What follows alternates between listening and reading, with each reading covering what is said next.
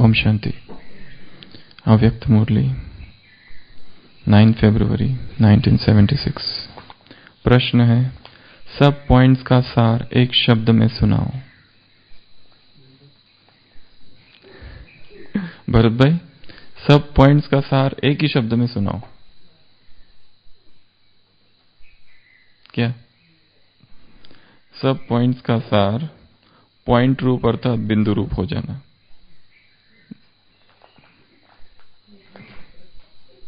सारी पॉइंट्स का सार क्या है? एक ही शब्द बिंदु रूप पॉइंट हो जाना। सारी पॉइंट्स का सार है बिंदु। बिंदु क्या होता है? What is point full stop point क्या होता है? फुल स्टॉप ज़ीरो बिंदु. पॉइंट क्या होता है? उसकी लेंथ नहीं होती, उसकी ब्रेथ नहीं होती। ज्योमेट्री में एक ज्योमेट्री है यूक्लिडियन ज्योमेट्री और वो एक ही ज्योमेट्री थी, लंबे समय तक। जो ये कहती थी कि स्ट्रेट लाइन क्या है। स्ट्रेट लाइन उसे कहा जाता है जो दो पॉइंट को जोड़ती है। ये पॉइंट यहाँ है, ये पॉइंट यहाँ है। जो भी दो पॉइंट जब जुड़े जाएँगे तो स्ट्रेट लाइन होगी। ये यूक्लिडियन ज्योमेट्री कहा जाता है। परंतु बाद में लोगों ने और बुद्धि चलाई। उन्होंने कहा, ऐसा नहीं है। दो पॉइंट जो जुड़ रहे हैं, वो कभी स्ट्रेट लाइन नहीं हो सकती, क्योंकि इन दो पॉइंट को खींचते जाओ। खींचते जाओ तो धरती गोल है। तो स्ट्रेट लाइन कहाँ से हुई? फिर एक नई ज्योमेट्री निर्माण हुई नॉन यूक्लिडियन ज्योमेट्री तो पॉइंट उसको कहा जाता है जिसकी लेंथ नहीं, जिसका ब्रेथ नहीं। जिसका कोई वज़न नहीं, उस बिंदु को, उसको पॉइंट कहा जाता है। सभी पॉइंट्स का सार क्या है? पॉइंट बन जाना, बिंदु बन जाना, अर्थात आत्मा बन जाना, अर्थात सोल बन जाना, अर्थात सोल कॉन्शियस स्थिति में आ जाना। ये सभी पॉइंट्स का सार है। चाहे कितना भी ज्ञान का विस्तार कर लो और योग का विस्तार कर लो सार है पॉइंट तो ये जो बिंदु रूप स्टेज है, ये जो पॉइंट स्वरूप स्टेज है, ये जो सोल कॉन्शियस स्टेज है अलग अलग मुरलियों में बाबा ने सात स्टेजेस बताई है। सात अवस्थाएँ चेतना की सबसे पहला है ए ए में दो चीज़ें हैं। एक है आत्माभिमानी स्थिति और अशरीरी स्थिति। इनमें क्या अंतर है, उसकी हम चर्चा थोड़ी सी करेंगे। दूसरा है बी। बीज रूप स्थिति। बीज रूप स्थिति क्या है? बीज रूप स्थिति किसे कहा जाएगा? सीड स्टेज क्या है? तीसरा है सी। Combined stage. संयुक्त अवस्था। संयुक्त अवस्था किसे कहा जाएगा? कहाँ होती है? कब होती है? फिर है डी, देही अभिमानी स्थिति। एक बताया अशरीर स्थिति, यह है देही अभिमानी स्थिति। फिर है ई ई अर्थात इसको वी ले लो, ई और वी एक जैसे ये विदेही स्थिति।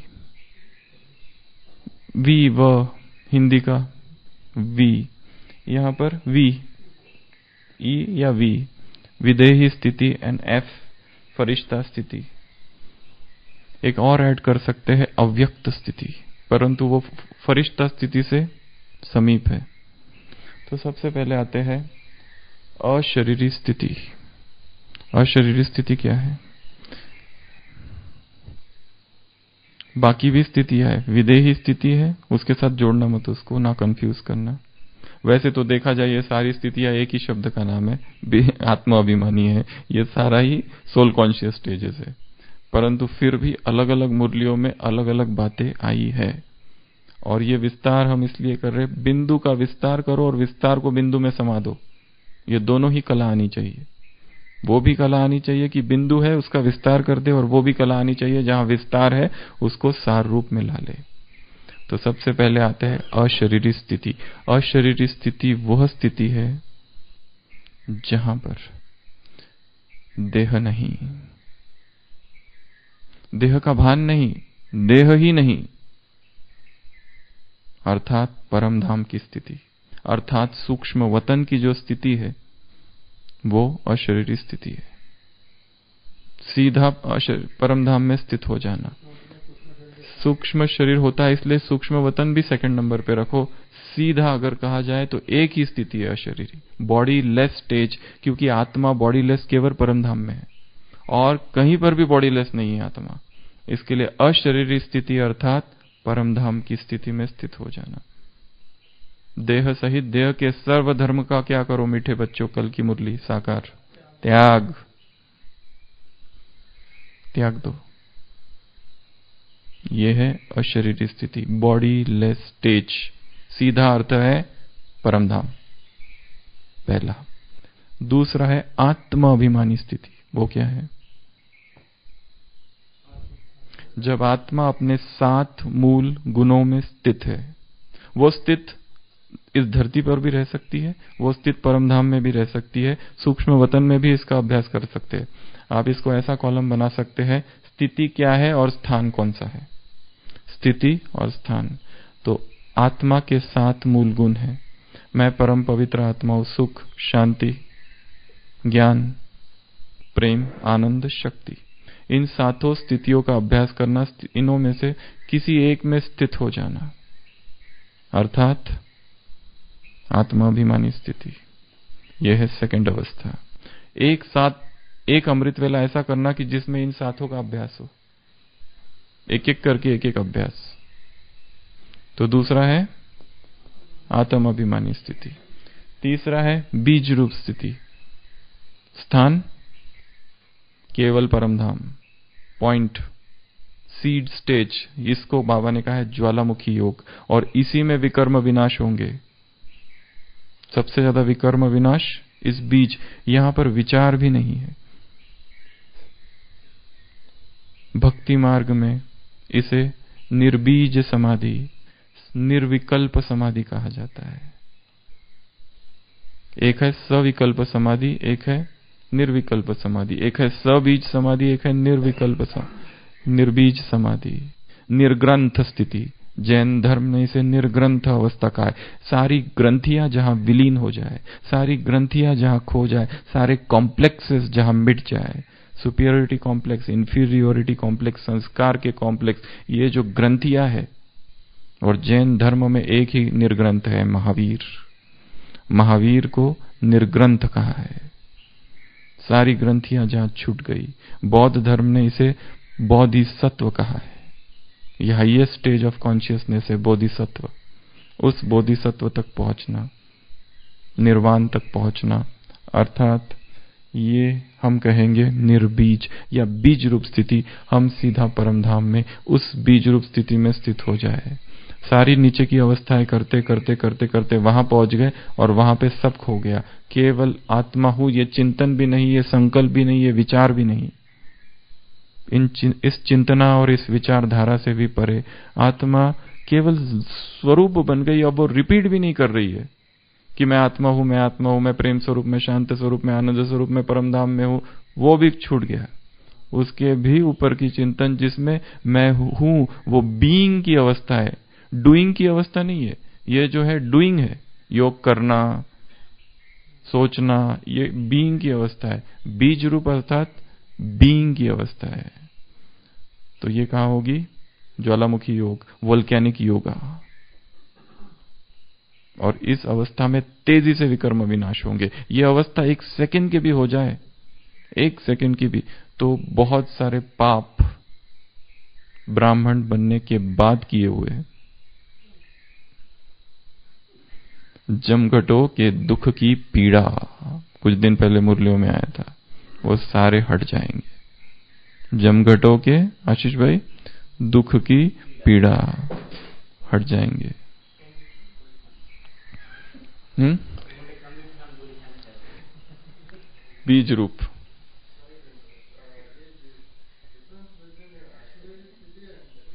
अशरीरी स्थिति में एनी परम धाम की जो भी स्थिति है, जहाँ पर आत्मा, केवल आत्मा है, शरीर नहीं है, उसमें दो चीज़ें आ सकती है। दूसरी हम चर्चा करेंगे कंबाइंड तो तीसरा है कंबाइंड अब ये कंबाइंड स्थिति होती है, ये शिव बाबा और ये मैं, दोनों कंबाइंड हो गए, एक हो गए, दोनों एक।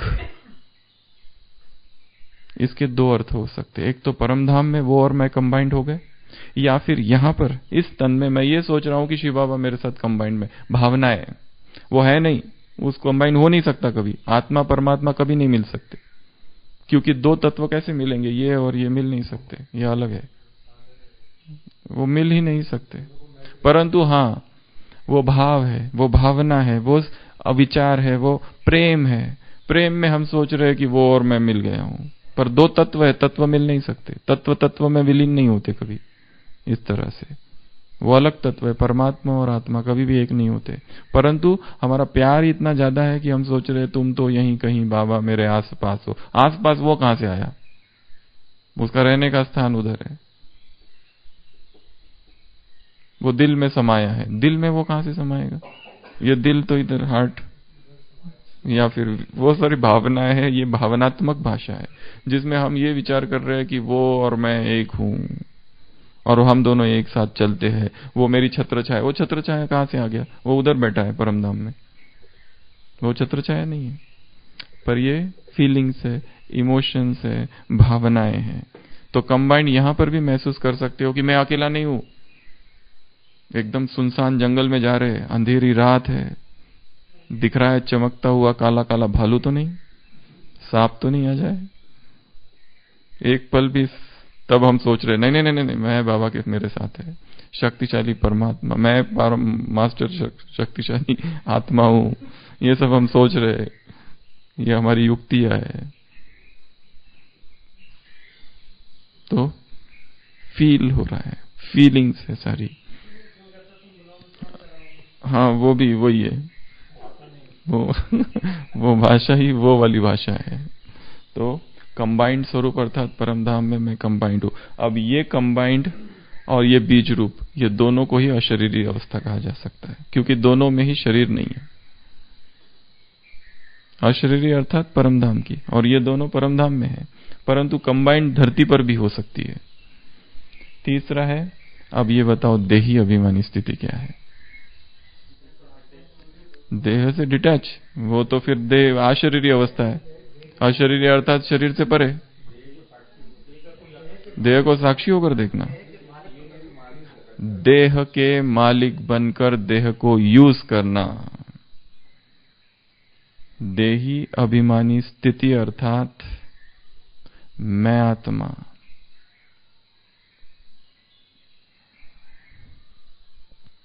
एक विदेही भी आगे आने वाली है। कंफ्यूजन और बढ़ेगा। ये तीन जरा, एक अशरीरी है, एक देही है, एक विदेही है। देही अभिमानी स्थिति अर्थात मैं आत्मा, मालिक, इन इंद्रिय द्वारा कर्म करा रही हूँ। ये स्थिति, देही अभिमानी स्थिति है। मैं आत्मा, मालिक, मैं आत्मा करण, करावन, हार इंद्रिया करणहार मतलब देही अभिमानी स्थिति, स्वराज्य अधिकारी स्थिति है। आत्मा इन कर्मेंद्रियों से जब कर्म कराए, मालिक बनकर उसको कहा जाता है मतलब ये कर्मयोग की अवस्था है। अशरीरी कर्मयोग की अवस्था नहीं है। अशरीरी बैठकर परम धाम में चले जाना अवस्था है। यह है देही अभिमानी, अर्थात मैं आत्मा मालिक हूँ और कर्म कर रही हूँ। अभी और आगे चलो। वी, विदेही अवस्था। अब विदेही अवस्था क्या है?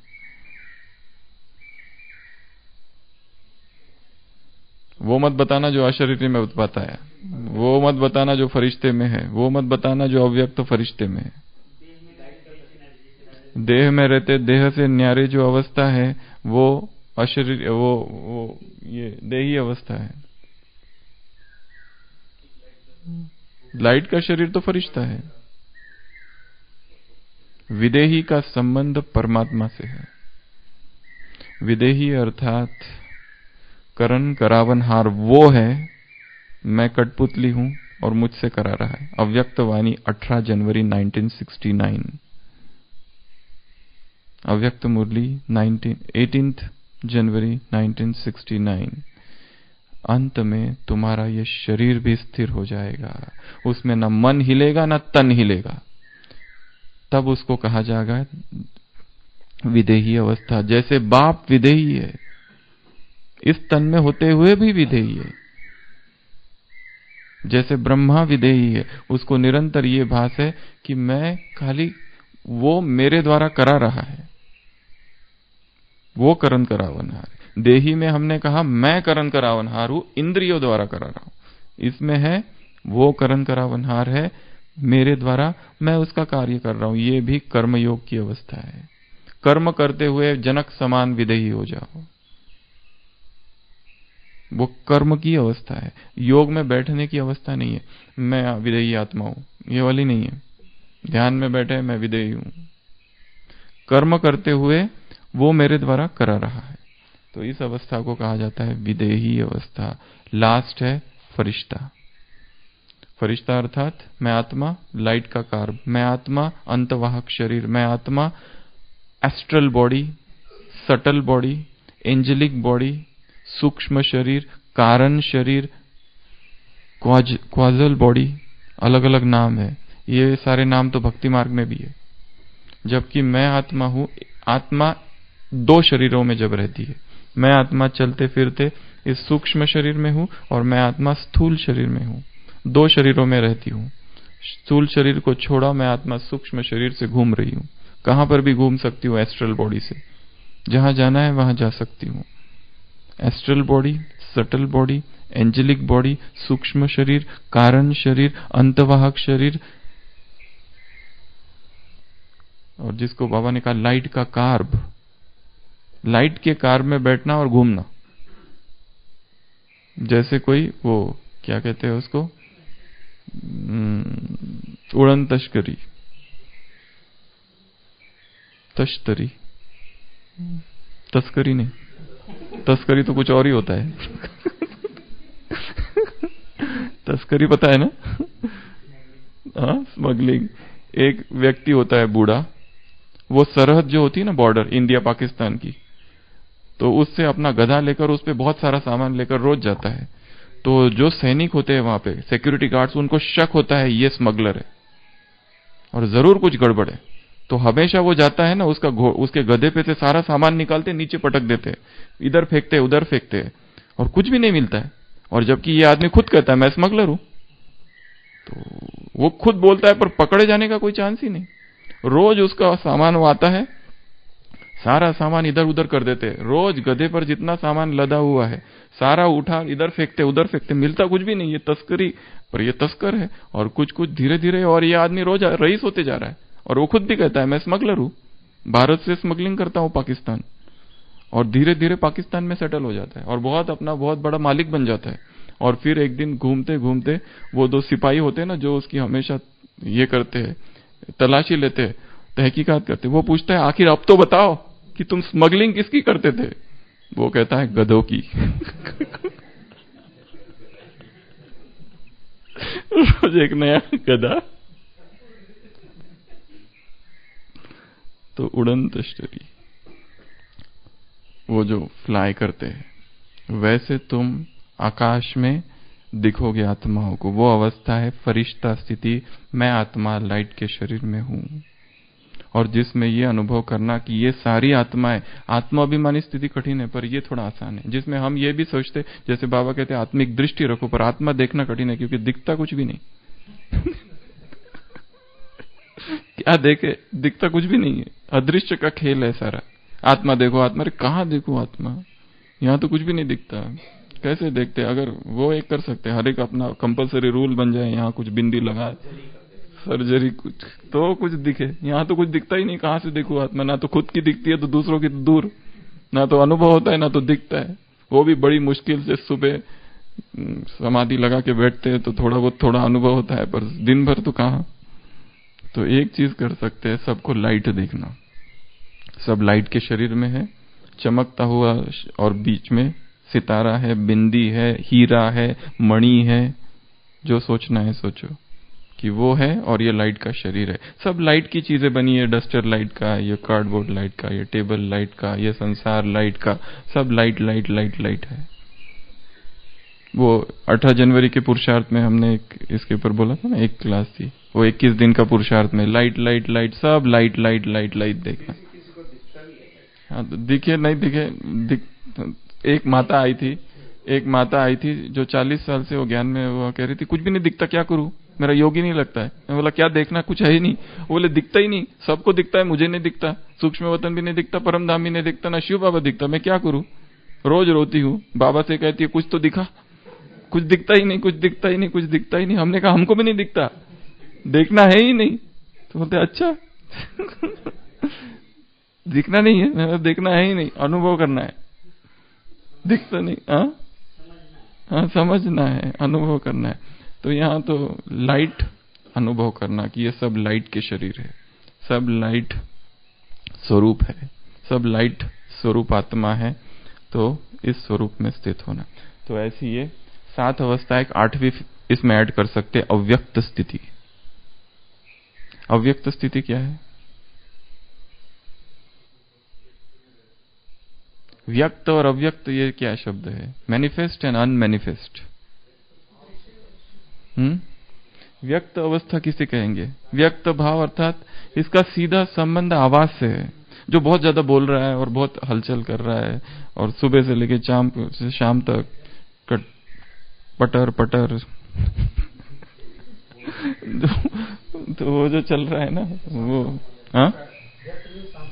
व्यक्त मतलब हाँ व्यक्त मतलब एक तो आवाज़ से संबंध है व्यक्त का संबंध हलचल से है जो बहुत हलचल में है, तीसरा व्यक्त से संबंध लौकिक का है, ये लौकिक है, ये तीसरा उसका संबंध संसार से जागतिक, ये जागतिक है। ये संसार की बात अर्थात व्यक्त बात, ये व्यक्त संसार। चौथा, पांचवा, व्यक्त का संबंध नाम और रूप से है। हाँ अगला साधन और सुविधाओं से है। यहाँ की सारी जो चीज़ें है, जो इस संसार में है, वो उसे कहा जाता है व्यक्त। और फिर उसमें है व्यक्त भाव। तो व्यक्त और व्यक्त भाव से परे अव्यक्त स्थिति में रहना अर्थात, आवास कम, हलचल कम, सांसारिक चिंतन कम, जागतिक चिंतन कम, लौकिक चिंतन कम, नाम और रूप से परे। हाँ? हाँ उसमें कुछ भी हो सकता है, सोल वर्ल्ड भी हो सकता है, या फिर वो प्रकृति का सानिध्य भी हो सकता है, जिसमें कोई लेखक है और कोई कवि है और बैठा हुआ एकदम संसार से परे चला गया है। हाँ। तो इस तरह की जो भी बातें हैं, तीन चार चीज़ें जहाँ नहीं है, उस अवस्था को कहेंगे अव्यक्त स्थिति। बाप समान अव्यक्त फरिश्ता भव। अव्यक्त स्थिति में स्थित होना अर्थात ये सारी चीज़ें। वैसे तो ये सारी स्थितियाँ जो बताई, एक ही स्थिति है। बाबा नहीं, एक अर्थात बाबा इसको ऐसा नहीं कि ये ये ऐसी है, इसके कोई ऐसे कंपार्टमेंट्स नहीं है। ये वो है, अब वो वो है, वो वो है। बाबा कभी कभी दोनों को दोनों को एक साथ ही बोलते हैं। तुमको ये भी बनना है, तुमको, या फिर वो बनना है। साथ में मिला देते हैं। परंतु सभी अभ्यास, सभी स्थितियों का अभ्यास विस्तार इसलिए कर रहे हैं ताकि जिस भी चीज़ का विस्तार होता है, उसका मनन होता है। खाली ये कब तक है? आत्मा समझ बाप को याद करो, आत्मा समझ बाप को याद करो। अस्सी साल की पूरी शिक्षा का सार तो एक ही शब्द है। पर यह सारा विस्तार इसलिए आवश्यकता है क्योंकि इतना सिंपल भी तो नहीं है नहीं है। पॉइंट बन जाओ और बन जाते हैं क्या? हज़ार बातें हैं मन में।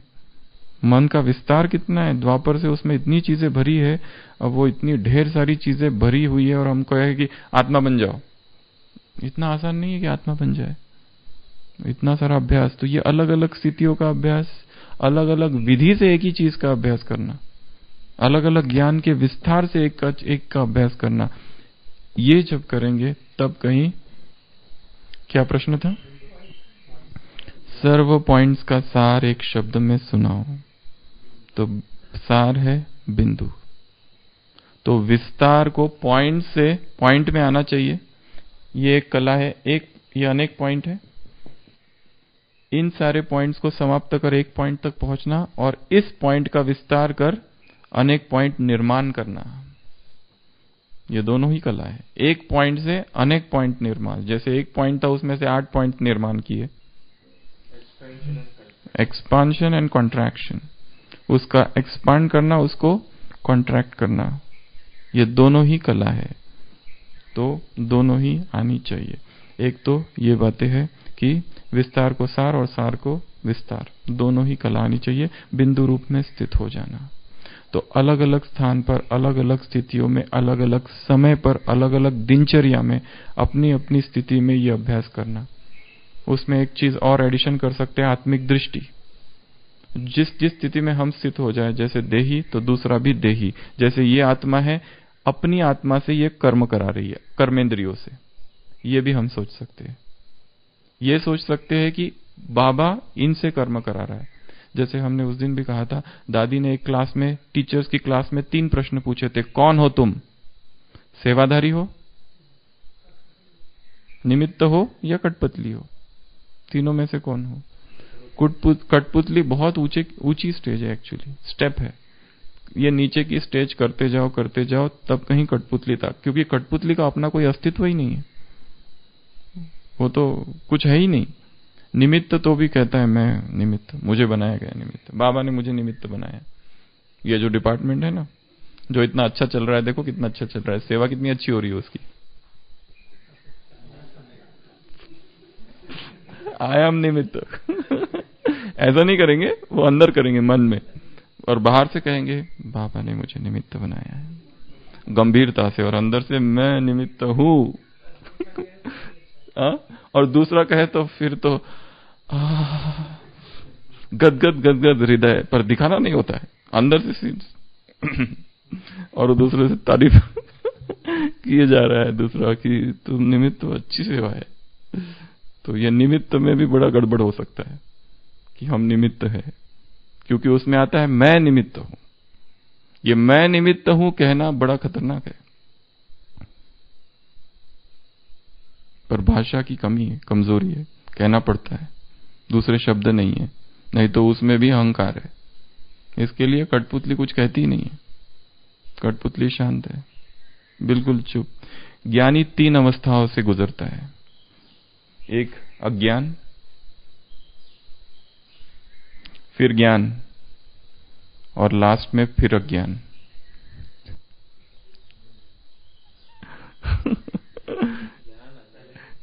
पहला अज्ञान।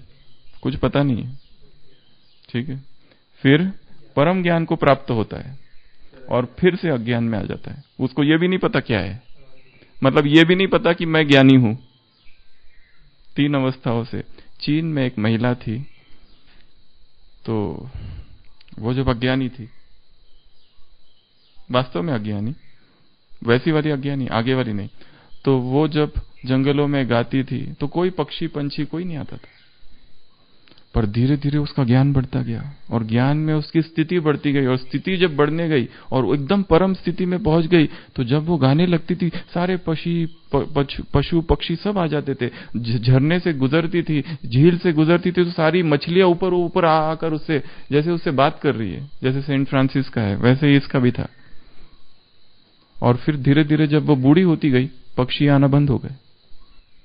तो लोगों ने पूछा, क्यों, तुम्हारा ज्ञान कम हो गया क्या? क्योंकि जब परम ज्ञान की अवस्था में थी तो सारे पशु पक्षी आते थे, गाते थे, गीत गाते थे, यहाँ आकर बैठते थे, वहाँ आकर मतलब पशुओं को प्यार हो गया। वो भी समझते थे कि इसकी भाषा कितनी ऊँची अवस्था है। पर धीरे धीरे वो आना बंद कर दिया तो लोगों ने पूछा अच्छा तुम्हारा ज्ञान शायद कुछ गड़बड़े अंदर? पर वो परम ज्ञान के बाद की अवस्था है। दादी जान की, उसको पता नहीं कल क्या बोला, किस सभा में बोला।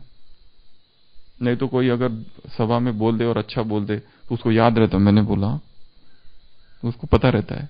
दादी को कोई है, यहाँ पर कितने लोगों से मिले, ये डिपार्टमेंट मिला, वो डिपार्टमेंट में मिला, उस ज्ञान के अहंकार की भी परे की अवस्था है। तो जैसे ये होता है ना अज्ञानी उसको कुछ भी नहीं पता रहता है। वैसे ये होता है। आम्हा नकड़े ज्ञान नकड़े पुराण, वेदांचे वचन नकड़े आम्हा। हमें कुछ भी नहीं समझ में आता है, ज्ञानी कहता है। मुझे कुछ पता ही नहीं क्या है ये। परंतु ये वास्तव में परम उच्च अवस्था है, सर्वोच्च अवस्था है। वो अज्ञान की और ये ये दोनों सिमिलर है, दोनों में एक अंतर है। ये नींद की अवस्था है, ये जागरण की अवस्था है। बस ये अंतर है। समाधि और नींद में क्या अंतर है? दो व्यक्ति, एक व्यक्ति सो रहा है, एक समाधि में अंतर क्या है? एक नींद है, एक जागरण है। वो सोया है पर जागृत है। वो समाधि है। तो ज्ञानी इन तीन अवस्थाओं से। तो हम कहा हैं अभी? ये अज्ञान ये परम ज्ञान ये अज्ञान। हम शायद ज्ञान और परम ज्ञान के बीच में कहीं लटक रहे हाँ? कभी कभी एकदम परम ज्ञान को प्राप्त हो जाते और कभी कभी परम ज्ञान की पहाड़ी से लुढ़कते हुए नीचे गिरते क्योंकि परम ज्ञान अर्थात महाअंधकार। यहाँ पे भी अंधकार आ जाता है। तो इसके भी आगे की स्टेज है छोटे बच्चे की अवस्था। उसको कुछ भी नहीं पता। उसको ये भी नहीं पता मैं हरिवंश राय बच्चन की एक कविता है, ये नन्ना सा शिशु, ये नन्ना सा शिशु, इसे ये नहीं पता इससे कितनी लंबी यात्रा पार करनी है, इसे ये भी नहीं पता आगे का रास्ता समतल होगा या उबड़ खाबड़, इसे ये भी नहीं पता, इसे उस ग्वाले से भी क्या लेना देना जिसने आज ही दूध कम तोला था। इसके चित्त पर वैसी ही निर्विकारिता जो बुद्ध ने कभी जीवन भर की साधना के बाद पाई थी, ये नन्ना सा शिशु। बुद्ध की ने जीवन भर जो साधना की ना उसके बाद जो अवस्था प्राप्त हुई, वो छोटे बच्चे की अवस्था है। तो लास्ट स्टेज जो है ज्ञान की, वो है अज्ञान जैसी है। कोई दादी को सुनकर ये नहीं कहेगा, अरे बाप रे, कितनी ज्ञानी है। ऐसा नहीं कहेगा। कहेगा, अनुभवी है। या क्योंकि वो ज्ञान के भी परे की अवस्था है। वो सीधा एक्सपीरियंस करा देगी आत्मा को। ज्ञानी तो कहेंगे हाँ ये इंटेलिजेंट है। ये इंटेलिजेंट बहुत है, पढ़ाई बहुत की है। ये कहा जा सकता है, पर यह अवस्था में वो भी नहीं कहा जाएगा। ये सबसे सर्वोच्च अवस्था है, छोटा सा बच्चा है, निरागस बालक, निर्विकारिता की स्थिति है, ज्ञान के भी ऊपर की स्थिति ओम शांति।